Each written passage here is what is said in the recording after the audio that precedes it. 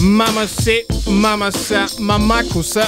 Я приветствую тебя словами мира, словами хип-хопа. Если ты слышишь это прямо сейчас, значит добро пожаловать на студию 21. На этих волнах живет хип-хоп. Меня зовут Сэм, и сегодня в этой студии особенный гость. Сегодня в эту студию я позвал одного из самых горячих продюсеров сегодня в индустрии, известного под именем Пьер Борн. Yo, yo, Pierre, you wanna come out here? You did it. Он это сделал, он это сделал. Do you, do you know any Russian words? To be honest, no, but I could learn. Let me give you, let me, what do you want to know in Russian? Help. Help. Oh, oh that's interesting. Помощь. You never know when you're gonna need some help. So, what? How do I say that? Помощь. Palmish, Помощь. Palmish. Или помоги. What? Помоги. Pomagi. Yeah, that's like if you want to ask for help, mm-hmm. you be like Pomagi. Pomagi. Okay, at the Pierre Pomagi. What? I need help. Help. What? You what know, if, it might be emergency. What if you, you would use that word in one of your tracks, like an ad lib or something? That'd like be that. hard as fuck. Hmm. To be hmm. honest, I like doing stuff like that. Hmm. Like lately, I've been doing stuff like that, just saying clever things as my ad lib, like being animated. You know, uh-huh. having fun, having fun. That's, that's, that's Gotta the- have fun. That's the key. Я только что предложил Пьеру, что если на одном из своих треков он использует как ad-lib слово «помоги». Что думаете? Хм. What are the things like the basic general questions? What are the things you've heard about Russia? Okay, what have I heard about Russia? Yeah. I heard that I might get hacked. Uh, hacked? Mm-hmm. I heard there's a lot of hackers out here. Who told you that? People in America. CNN, Fox News, nah? Artists. Artists? Producers. Really? They've gotten hacked. In Russia. You mean they plug their computers somewhere? Nah, it's just somebody out here is really, really, really smart. Damn. So I'm not connecting my computer to no internet just to save my music. I'm serious. Yeah, That's the only thing I was worried about coming out here. Like, please, I just hope I don't get hacked because I've been doing good for about two years, two and a half years. Uh-huh. The first year I got hacked, my Instagram got hacked, my PayPal got hacked, my Snapchat got hacked, my numbers got leaked. I had to change numbers twice in the same year. But that was all in the States, not in Russia. hmm But they were telling me, like when my Snapchat got hacked, it was somebody out here that had my Snapchat Come on. because they weren't American. Like they were posting stuff and talking. In Russian. Yeah, like they had they had no ties with the United States, man. Cause I was like, who is this guy on my page pretending to be me? Damn. Я только что спросил у Пьера, какие его впечатления или что он знает о man. России. И он сказал нечто удивительное. Мол, среди артистов в Штатах ходит байка, легенда. Мол, если ты приедешь в Россию, будь осторожен, не подключайся к Wi-Fi, потому что тут тырят твои биты. Man, people usually say about Snow, about theater, I don't know, about Red Square. This is the first time I heard of someone. I mean, that was some like from my peers in the music world. Uh-huh. But like, I guess regular people would probably just say it's cold or snow or some shit. like that. Uh-huh. But Uh-huh. people that I work with or like my peers, I'm just like, yeah, I'm, I'm, I'm, I'm gonna watch my back. I think I'm okay, man. Y'all are cool. Yo, let's take it way, way back Okay, to your childhood. okay. Can you tell me what music did your parents play around home? What music did you Oh, grow man. up on and stuff like that? My mom played a lot of Alicia Keys, Wow. like Alicia Keys, Mary J. Blige, all that sad R&B pain music. Like she would, she would play it whenever she cleans up and stuff, you know. And then my my my father's side, they listen to like southern music, more so like what is it? What I don't even know the name. of the Southern song. rap or like It's not. It was like jazz? it was before. It was before. Um, I really was like maybe a teenager. I was still like a little little kid. It was. I guess it's called rhythm and bass music. rhythm and bass. Yeah, it's like it's not really hip hop, but it was similar to like uh the Florida sound when they were doing like the the bass, like Luke, Mhm. Uncle Luke. Yeah. my uncle, I mean my my father, he listened to when they would be out in functions and like little parties and stuff. They would play like music I thought was similar to that stuff. Mm-hmm. So it was like heavy bass, a lot of 808s, a lot of just I don't know. Groovy music, I Yeah. guess. And then my uncle, he put me on the Dipset and Kanye West and G Unit. G Unit's from like the same neighborhood as me. Wow. So that's why I kind of like always knew I could do this. 'Cause- Я спросил у Пьера, на какой музыке он вырос или какую музыку крутили дома родители. Он сказал, что мама крутила, по его словам, грустный R&B или R&B боли по типу Алиши Кейз, Мэри Джей Блайдж. Отец Пьера крутил rhythm and bass, я? Мгм. Музыку или жанр из э, южных штатов США под названием rhythm and blaze. А дядя Пьера Подкинул ему Kanye West, Dipset и G-Unit и сам Пьер, он из того же района, что и G-Unit. Do you remember what was the what was the moment in your life where you like begin to take music serious as something you would love to do for life? Um, when was that point?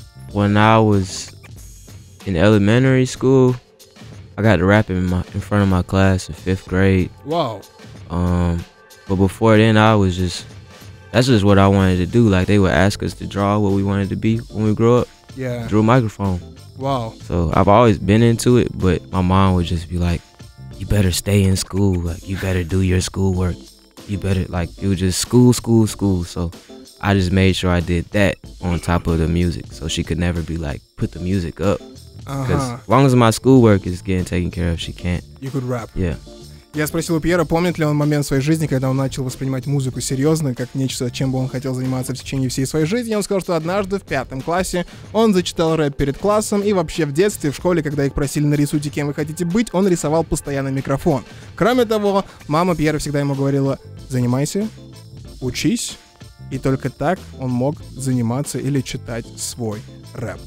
Could you point out, uh, let's say, three main influences, I mean, in rapping in your life? What are the top three MCs for Pierre Bourne of all time? Oh man. Those are really Big L, rest in peace, Big L. Rest in peace, Big L. If nobody Amen. knows who Big L is, look him up, man. He's a legend in New. York. Amen. Man, Big L. Um, I want to say Three Six Mafia. A lot of the Juicy J, Project Pat really Project Pat, not even 36. Really Project Pat was huge influence on me because he had so much character in his songs early on before anyone was trying to do like weird ad libs or like ooh, like he was doing stuff like that. Now that's like the normal thing. Yeah, everyone. So he was away. He was he was two decades ahead of his time. Like maybe even three. I don't know how old the music is, but yeah, they definitely influenced me a lot. Uh huh. Я спросил у Пьера, мог бы он назвать топ-3 самых главных инфлюенсеров, повлиявших на его стиль, и он назвал Big L. Все мы знаем, конечно же, кто такой Big L. Он назвал 36 Mafia и особенно отметил Project Pat. Okay, the last question in this part. Mhm. Jay Dilla versus Kanye West. Damn, Jay Dilla, uh, for sure. Jay Why, Dilla. why so? Have you heard his beats? Of course I have, yeah. Okay then. I'm sorry. I'm sorry. Kanye my big bro, but everybody knows it's Jay Dilla. Like, what? What? If I could have got a Jay Dilla beat, man, rest in peace, man. Rest like that's somebody I really, really wish I could have worked with. Uh-huh. Like out of anybody, man, Jay Dilla was one cold brother, man. He was dope. Really dope. Я спросил у Пьера, кого он выбирает, Джей Дилу или Канни Уэст, и он сказал, конечно же, Джей Дилла. Я попросил его объяснить, почему, и он спросил, разве ты не слышал музыку Джей Дилла? Haven't you heard Джей Дилла? А? Я это Пьер Бор на студии 21, сделаем небольшую паузу и вернемся, а пока что пуф. Доброго времени суток, дорогие радиослушатели, слушатели дорогого радио. Это Studio 21. Меня вроде бы зовут Сэм, и справа от меня... Do you remember the word? Nope. I gave you a I, Russian word. I, I I know it, but I don't want to say it wrong, so I'm not gonna say it. Uh-huh. Cause then people are gonna like really be upset with me. Yeah. So let's not do that. You want? But I I, I kind of kind of remember. you remember the? You wanted one more? Yeah, go ahead. hmm What do you want to know besides help? Okay. Sauce. What does sauce mean? Like, how do you say sauce? You mean like sauce as literally sauce? Yeah, sauce. Sauce. Sauce. Uh huh. Sauce. That's easy. Sauce. It's the same thing. Yeah, basically. that's that's just what we do in Russia. Like we, we like a word in a different language, and we just like maybe twist one or two sounds. that's basically the same thing. So, so That's easy for me then. That's cool. Me. You say Sauce. rap, we say rap. I don't know. You say uh, whatever, whatever. Back home they say stuff like that. Tomato, tomato. Yeah. Ella Fitzgerald has a song about that. yeah, Ella Fitzgerald and Louis Armstrong. You say tomato, I say tomato. That's a classic. That's a classic. Let's, let's get back to you. Okay. You said that you the first time like you began to take rap serious was in fifth grade. That's when I um when when everyone when I rapped in front of the class and everyone like clapped. That's when I was like, oh.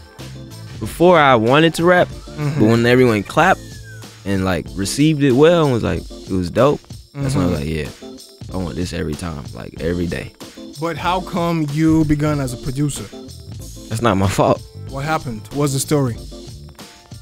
People wanted to get on my beats. That's the story. Mm-hmm. But I wasn't a producer. I was a producer for myself. But- And I met Nudy, I met Carti, I met a lot of people, but all those beats were for me first. Like people wanted to get on my beats. You not like a lot of people think that I was making beats first and then I got bored with the artists I was working with and wanted to rap. That is not the case at all. I wanted to rap first. And then I just blew up as a producer. I was Uh-huh. cool with that though. Like, if I'm gonna blow up, let's just blow up. I'm not gonna. I can't get mad at how God blesses me. Amen. So Amen.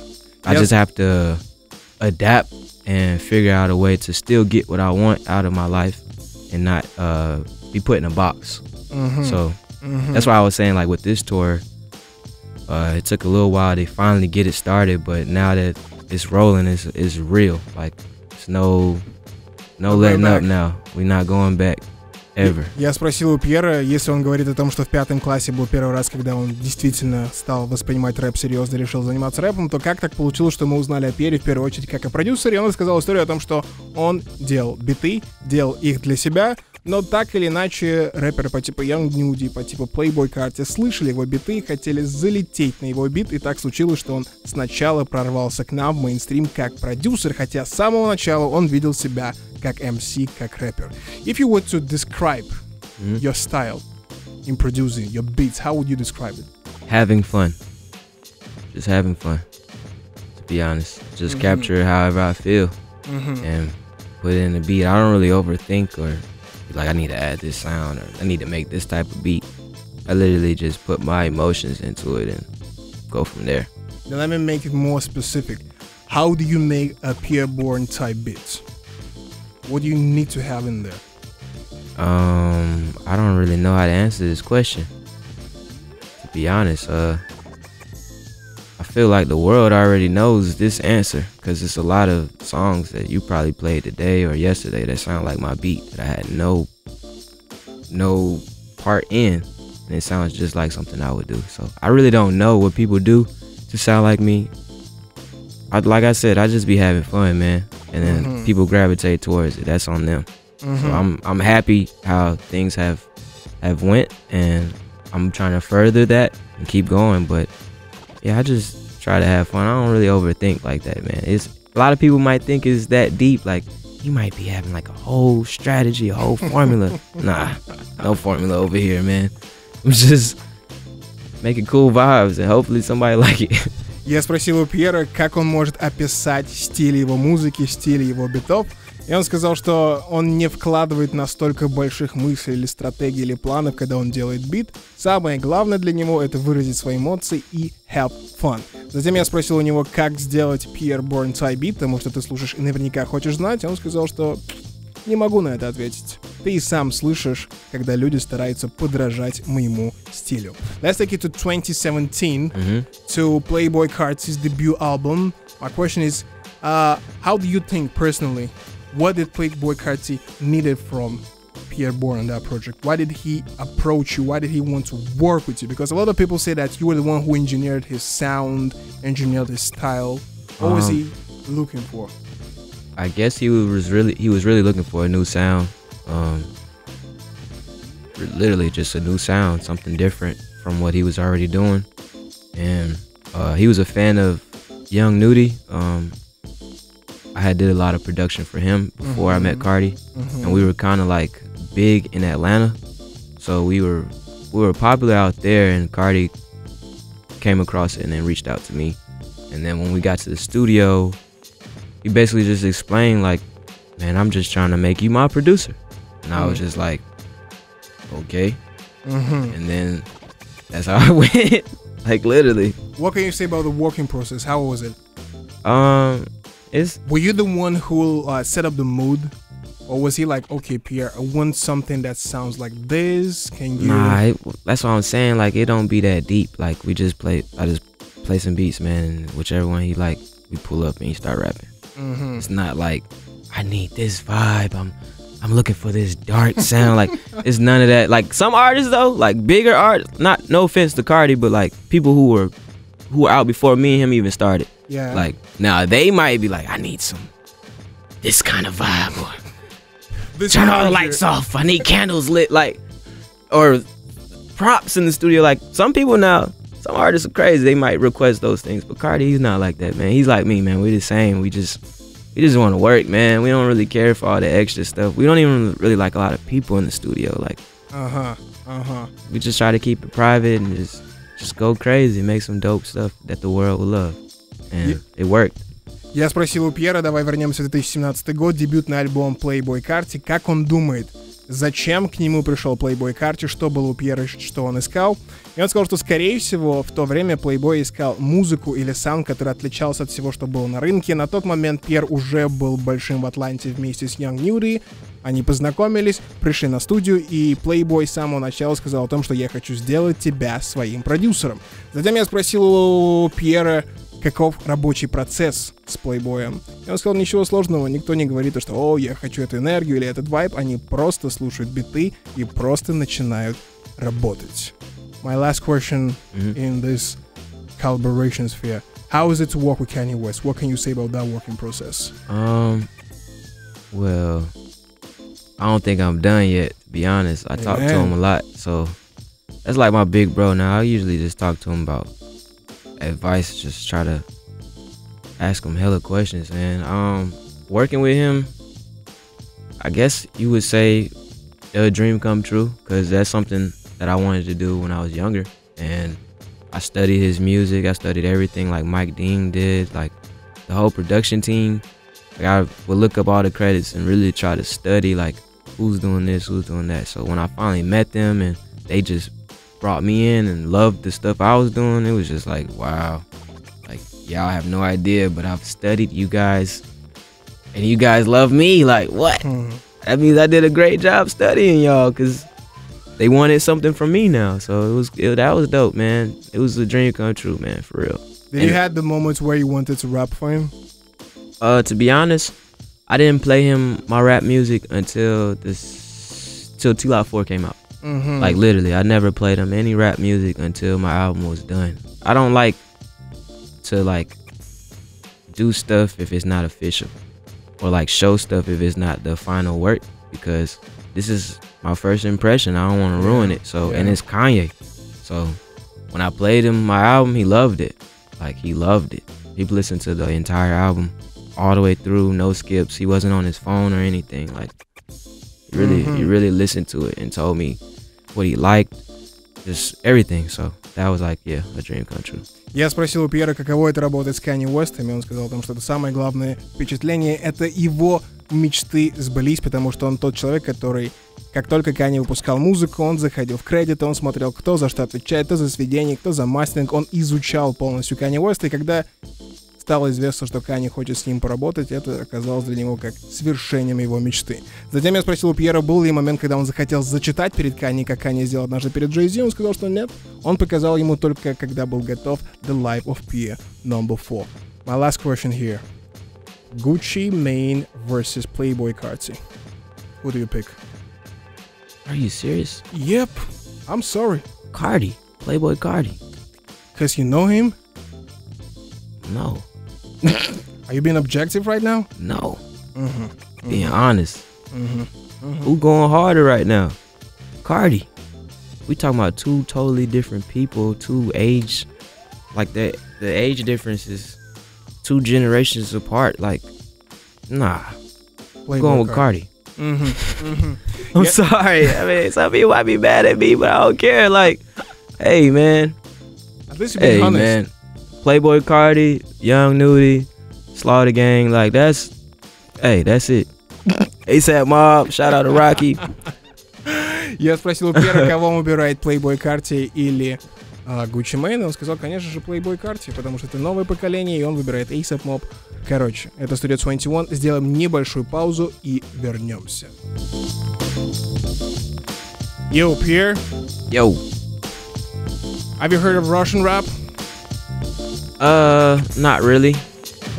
I have a friend that was from France in college, and he put me on like French rap. Mm. like trap. He showed me like some real hardcore videos. So I know like Europe in general, they're they're they're hip to what's going on. Cause I I was kind of shocked. I was like, Why, where did they get all these guns? Like, like what? Like what? going on? Yeah, I was like, I was like, we're influencing the wrong thing. I don't have no guns in my videos, so I'm not doing that. But yeah. The new generation. Yeah, man, it- it's crazy. It's like that's the only way to go viral. Unfortunately, it's sad. And a lot of people are incriminating themselves doing that. They don't realize like the police and people are watching and paying attention more than uh, your fans. Damn. Yo, Pierre, can I show you a Russian rap song? Go ahead. You ready? Yeah. Окей, прямо сейчас я покажу Пьеру Борн композицию местного MC. Вы готовы? На счет раз, два, реакция на Studio 21. Это вампир здесь Аэробрую, бензобро Год назад я был другим Может быть подрос немного Но я точно не взрослел Просто как-то стало. Может сильно отупел. Я искал себя так долго Был на трапе каждый день. Каждый день. Они хотят меня От меня детей. Я могу ей дать э, Всего пару дней. Снова сел на зам Потерялась тень. Эй, я я нашел себя, эй, не понимал. Нет, пипай один, один. Звезда одна, звезда. Эй, Я не вернусь сюда назад. Ты, эй, купи со мной Как-то одиноко все равно Все равно Юность поменял на этот чек yeah. Сделаю кэш, лечу только наверх Питер Пэн. А, Дека, посмотри, я был таким всю жизнь Заберу тебя с собой в ночи. Ты со мной ненадолго Питер Пэн, я упал в пропасть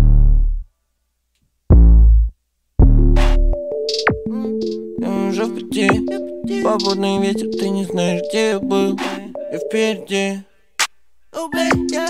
Отключайся своим мыслям, мы летим. Social music, baby, это дым 20 к на блоке, все на дым. 20 к фунты, не рублей Пошли, я не верю тебе, детка, это жизнь. Она откроет рот, но не заговорит. Когда снят топ, она аквалангист Ей не нужен кислород, ты посмотри эй. Я нашел себя, эй, не понимал Yo, Pierre, Yo, your reaction. it sounds alright. It reminds me of like some Uzi. Some, it sounds like something Uzi if he was like from Russia. It probably sound like that. What do you think about the beat? It sounds like a Pierre type beat Oh, really? for sure. I was asking you what makes a Pierre type beat, and you couldn't. I mean, if it sounds like something me and Carti did, it's a Pierre type beat. If Mhm. it sound, if it still sounds like 2017 self-titled, it's definitely a Pierre type beat. It's 2020. Mhm. What about the language? Like, I don't, I didn't know what he was saying, but the melodies were really dope. So I mean, like, how did the language, in your perspective, fit into this like trap aesthetics or something like that? Like, when you listen to American trap, mhm. I don't know, you, you have this, you know, the background, you have the cultural feeling. How does the Russian language? I like, fits? I like good music. That's what I was saying. I don't know what he's saying. It just sounded good. Mhm. So I don't really like even when it comes to music in this in America. sometimes I'm not listening to the words. I just want to hear some good music. So if it sounds good, hey, I'm not complaining at all. like it's not about. A lot of people might be like, hey, you gotta say this, you gotta, you gotta, you gotta reach this audience. But man, I just like good music. So if it makes me feel good, it's good in my book. Только что я показал Пьеру Бору композицию «Платина» под названием «Питер Пен», и я спросил его реакцию. Во-первых, он сказал, что песня классная, песня хорошая, песня ему понравилась. Затем он сказал, что он не понимает, о чем было сказано в этой песне, но тем не менее она ему понравилась. Спросил его насчет бита, и он сказал, что этот бит, конечно же, звучит как Pierre Bourne type. Еще он сказал такую вещь, что лично он такой MC, который не особо обращает внимание на то, что было сказано в треке. Самое главное это мелодия, самое главное это вайб, самое главное это атмосфера. Ну что, Платина, ты прошел, ты сдал экзамен. Let's talk about your music. Mm-hmm. Love 4. Was there a moment where you took a break from producing, making beats, making music for other artists, and you concentrated on making this album? Was there a moment? Uh, sort of. I tried to do that, but the album took two years. So Whoa, it was, two was, years. It took two years to actually complete it. So I couldn't have uh like stopped producing because I mean I wouldn't have had gotten any placements. Mm-hmm, so mm-hmm. I can't like put it off, but sometimes I did like, hey, you know, I'm working on my album. I'll sing y'all some stuff, but I can't physically be there. Я спросил у Пьера, был ли момент э, за последний год, в котором он остановился работать с другими артистами и сконцентрировался на его альбоме The Life of P4, который вышел в прошлом году, и он открыл мне, что на самом деле он работает над этим альбомом 4, 2 года, извиняюсь, и были небольшие моменты, когда он брал паузу, но в целом он продолжал работать с ребятами, потому что иначе бы он не попал бы в мейнстрим, о нем бы мало кто узнал. Comparing, let's compare Pierre Bourne working for whoever's project and Pierre Bourne working on his project? Is there a difference in the way you Um, approach? One, well, I try to make, I try to make sure there is no difference, but usually there is because the artists they have like several people involved working on their stuff. So I usually just contribute with the beat. Um, I try to like be more hands on and possibly engineer a little bit or add more to the beat when they're done recording. But the industry, like nowadays, they move so fast. People don't do that anymore. Like growing up, I used to see like interviews and documentaries and stuff. People would tell me like, "We worked on this album for months. We kept changing the beat. Like Mm-hmm. I can't even change the beat if I wanted to. A lot of the artists, they're just happy with what they have. They're satisfied. Like, and you gotta respect the artist's vision. You mean like when you send over a beat or the artist takes it and he doesn't make changes, he just keeps on working on that? Yeah, most of the time that's that's the industry nowadays. Mm. Back in the day, it would be like, all right, here's the, here's my beat. You go do your idea. Let me hear your idea. Give it back to me, and I'll make this sound amazing. Uh-huh. But they don't let, they don't they don't they don't give me the files. They don't do that nowadays. If I could if I could actually get everyone's song that has come out and like just just give me a little bit more time with it. Besides, like once they're done, once they're complete, I Yeah. promise you it'll be even a bigger song. The only song I was able to do that was Magnolia.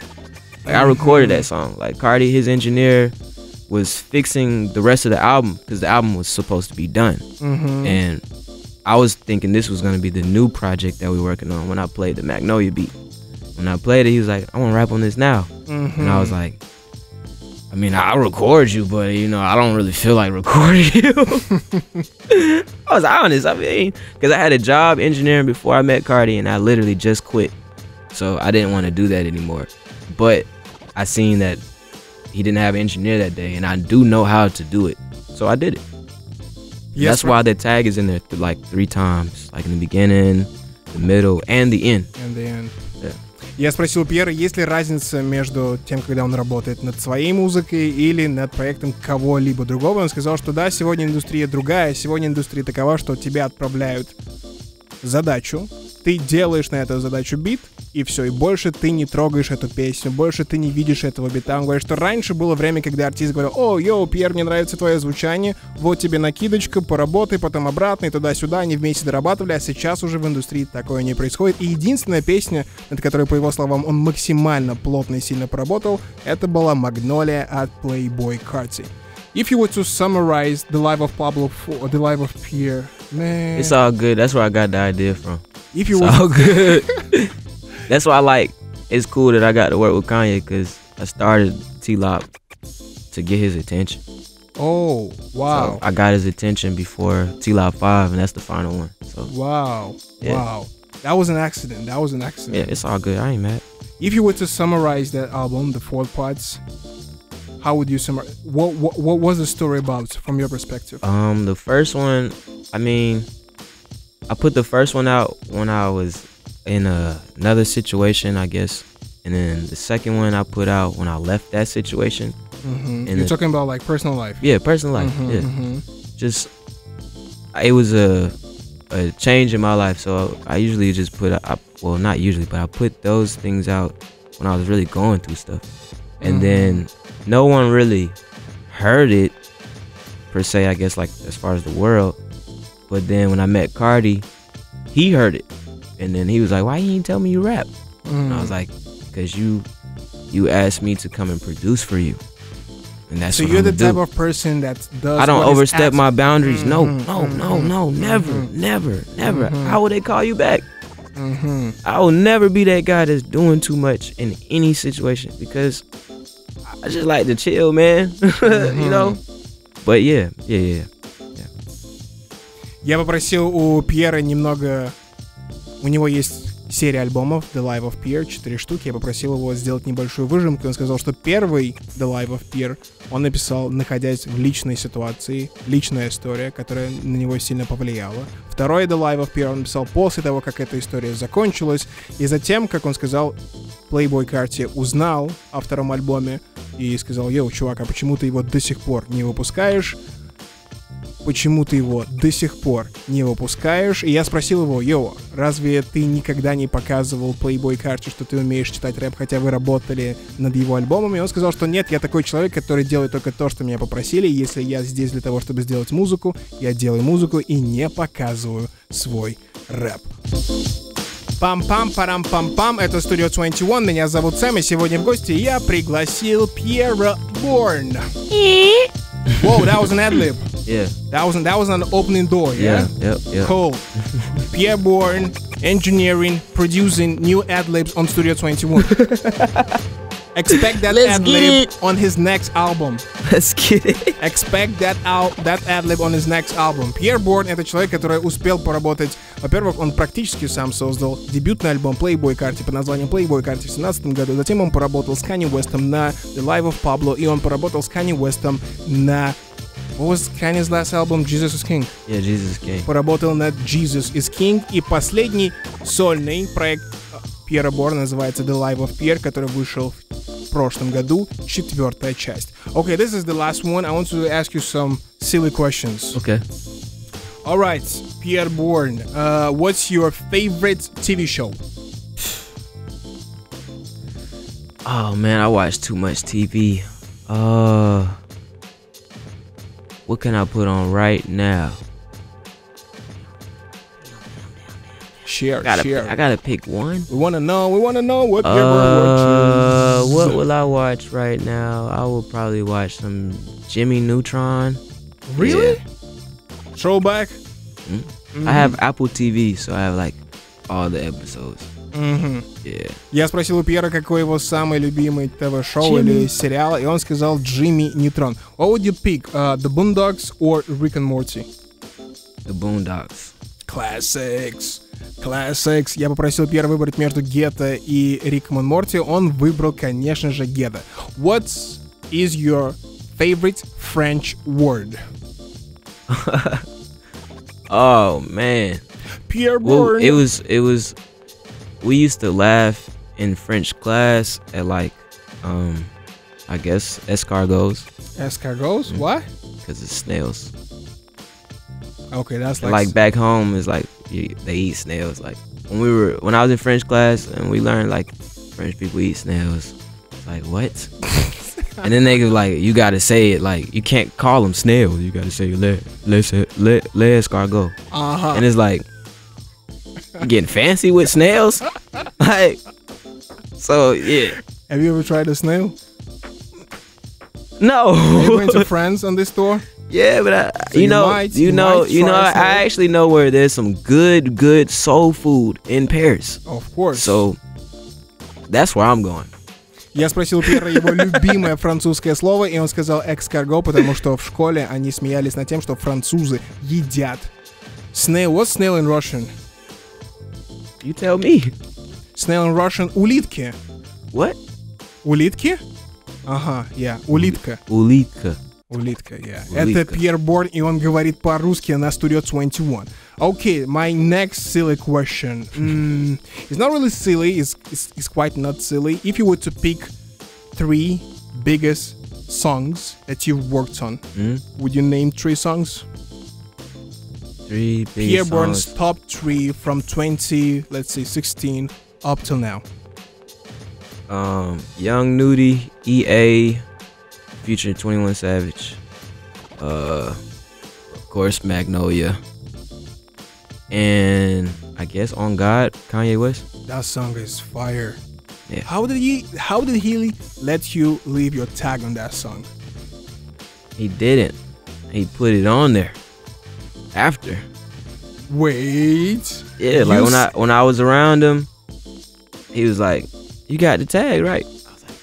"Look back." I was like, "Yeah," and his engineer was like, "Put it on the flash drive, and I put it on there." Yeah, man, he a real one. Everybody be saying crazy stuff about Kanye, man. I love Kanye, man. That's my big bro, man. He put the tag on there, not me, because I did other beats on the album, but that one, the tags on there, both tags, the the new one and the uh the, the old one. So it's it's dope, man. I did not know he was going to do that because I produced for him before. You know, I like I said, I try to just do my job. I don't Yeah. try to overstep my boundaries. I just do what I'm supposed to do and go home. And hopefully they call me back.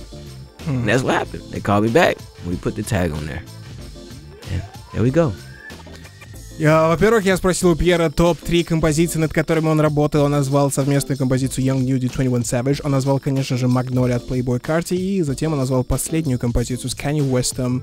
И он рассказал о том, что есть большая история о том, что Kanye не позволяет продюсерам оставлять свои теги на его музыке, но на этой композиции мы слышим тег Пьера Борна, и оказалось, что сам Kanye попросил вставить этот тег. Man, what's your favorite color? Do you have a favorite color? Purple. Why purple? Um, I don't know. Mm-hmm. Mm-hmm. Mm-hmm. All right, then my last silly question. What's your 2019 highlights? Um, releasing my album Friday, playing it for Kanye that Sunday, and then we went to Japan Monday. Whoa. That was my highlight. Whoa. All in four days. Craziest four days of my life. How, do you feel? Because your success, it basically happened, let's say, the end or the beginning of 2018 up till now, just like one and a half, two years. How have you adapted? Um, to be honest, no. Mm-hmm. I've, I've, I think now I need to embrace it more. Mm-hmm. But I think that's the only thing I need to do is just own it. Because a lot of people copy me and do things like me or inspired by me. Now it's time to embrace it. Like instead of getting upset at it. Cause it's like I got I realized my position in this. So now it's time to embrace it. Я спросил у Пьера его главный хайлайт прошлого года, и он сказал хайлайт такой. В пятницу он выпустил The Life of Pierre, затем на следующий день он показал его Kanye Westу, точнее вечер пятницы он показал его Kanye Westу, затем в понедельник они уже уехали в Японию. Затем я спросил у Пьера, насколько он адаптировался и привык к этому новому уровню славы, который он набрел за последние полтора-два года. Он сказал, что пока что к этому не привык, и сейчас он просто наслаждается. Это был Пьер Борн на Studio 21, который сегодня, между прочим, будет выступать на ивенте Клуб Джипси. Начало в 22.00. У тебя еще есть 666 часов. Кроме него, Ромста Чейз Миронов обладает на одной сцене. И кроме того, как мне сообщили, Два человека выиграли билеты на этот ивент Орехов Максим и Крупенин Сергей. Here. Mhm. Is there anything you want to say before we end Um, this? Shout out to Russia, man. We about to go crazy tonight. That's about it. Do you have a goal for the 2020 for the new decade? uh, 2020. I just want to be bigger and better and smarter and wiser. Just grow. Amen. Amen. Let me give you one more Russian word. Okay. До свидания. What? До свидания. What? До свидания. Does dos dos До dos свидания. vidanya? That means So- we're finished. Yeah, that's like goodbye. Oh, I, I kind of can hear that in it. Ah, you could. Come on. No, I swear. Really? By how how you were saying it, Uh huh. it sounded like you were saying farewell to me. Uh, no, not to you, to them. Oh, well, goodbye, guys. Goodbye, это был Pierre Борн на Studio 21. Studio 21. Studio 21. Весь хип-хап здесь.